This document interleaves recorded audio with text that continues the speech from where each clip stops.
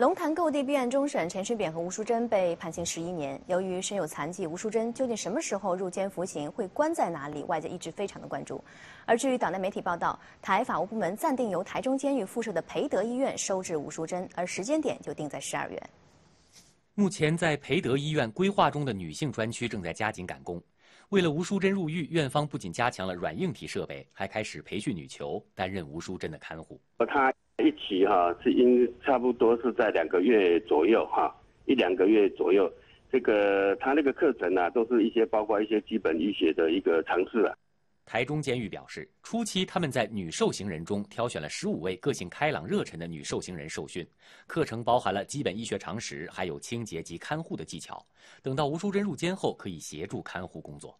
如果将来有收容啊女性重症受刑人的时候啊，将来这几位。这个参加看护班的一些女受刑人就可以加入来帮忙。